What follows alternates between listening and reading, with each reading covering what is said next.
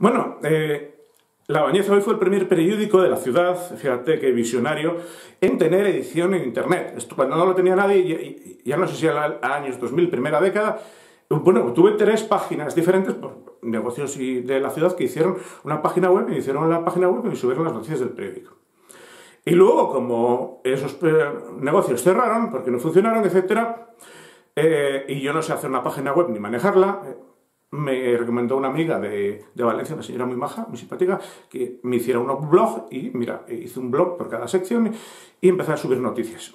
Y hubo un chaval de la ciudad que fue una de las pocas personas de La Bañeza que reconoció el mérito. Dice, oh, mira, primer periódico digital de la ciudad. O sea, y no cobraba nada por ello. Yo subía las noticias gratis al, al blog, él las publicaba y subí fotos e incluso me llamaron para que no publicase, amenazándome para que no publicase fotos o que retirase fotos. O sea, así este es el nivel que funcionamos en, en España y en esta ciudad. O sea, publicas una foto de un suceso, robo, y te llama alguien para que borres una foto, para que no tengas una exclusiva. Bueno, borra esta foto, me lo han dicho la Guardia Civil muchas veces, porque para decir ellos, borra esta foto. Pero ¿quién cojones es una gente para decirte que te borres una foto? Pues... Y, para cachearte, sin, haber cometido ningún delito. Y, para registrar tu coche. Y para inventarse que, has interrumpido una operación policial. Y, mañana vete a saber qué se inventarán. O sea, luego pones una queja se la pasan al este, luego dicen que no hay pruebas y lo archivan. Todo esto es pasado. Bueno, eh, a, lo que iba. Pues fue el primer periódico en internet en subir eh, noticias. Y este chaval eh, lo reconoció. O sea, de las pocas personas de la ciudad, bueno, un funcionario del ayuntamiento dijo, wow, ¿vas a hacer esto en internet? Sí, primer periódico en internet en la ciudad. Bueno, pues el, chaval este, yo, súper amigo, se me apreciaba o admiraba mi trabajo de las pocas personas, porque he tenido muy poca gente que haya admirado el trabajo en la ciudad, y de repente, pues este chaval creó su página web eh, hablando del carnaval de la Bañeza y fue a subir una copla. Aquí la Bañeza hacen unas coplas satíricas, eh, no sé qué, eh, que me cogieron a mí un año por banda y, me criticaron. Gente que no me conocía, pero bueno, que hay muchas envidias pues me pusieron a parir, como me ponen en internet, en YouTube, en, en WhatsApp.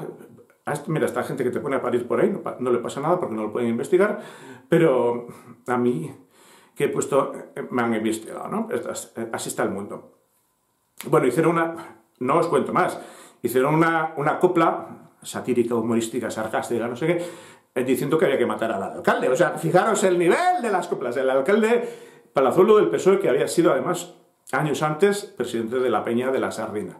Pero bueno, yo como demostré, hice una prueba, podía mandar cualquiera bajo anonimato, sin nombre, apellidos, ni... Yo mandé con un DNI falso y el nombre de mi abuelo muerto, una copla y me la publicaron. O sea, que fijaros el nivel de control. A mí me denunciado por publicar verdades en el periódico, como que el, el hermano del concejal de fiestas a las fiestas del pueblo durante ocho años seguidos, o sea, me denunciaron por atentado contra el honor pero publica otro en internet, uy, que aquí no pasa nada. Hubo una vez en un blog, en un foro, ciudad, no sé qué, que hubo uno, uno anónimo, amparado en la...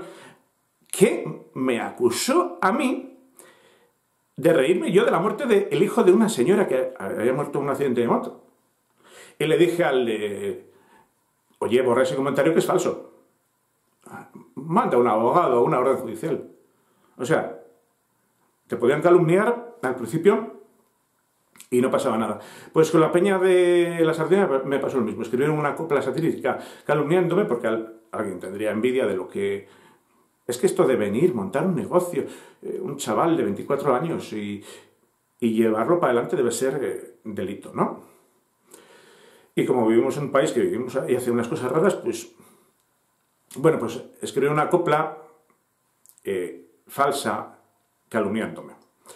Y este chaval que iba a hacer la página web del carnaval, que era amigo mío, amigo mío de llevarse bien, o sea, de admirarme, le dije, oye, como vas a publicar esa copla que ha publicado alguien amparado en el anonimato, sin dar nombre y apellidos, faltando, porque una cosa es que te ríes y te burles y otra, y hagas cosas, humor satírico, y otra cosa es que mientas y calumnies y cuentes la reputación de una persona que incluso La mayor parte de las que me han hundido la reputación no me conocen ni me han tratado de nada, nunca. Y, dije, oye, atenta contra mi honor. Oye, pues eh, se enfadó desde ahí y ya no me dejó de hablar. luego eh, a mí me han denunciado dos o tres veces por atentado contra el honor, por decir lo que estaba pasando en realidad. Y sin embargo, alguien hace una copla amparándose en el anonimato diciendo que hay que matar al alcalde de La Bañeza y nunca se supo nada, ni quién lo había hecho.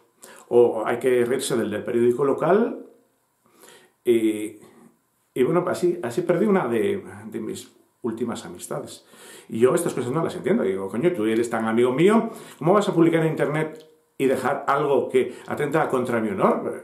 ¿Qué, qué reputación voy a tener en internet si, si la gente luego busca mi nombre o, el nombre de mi periódico y, se encuentra esa copla que me pone a parir, que no sabemos, que a mí sí se lo dice firmando nombre y apellidos, pues vale.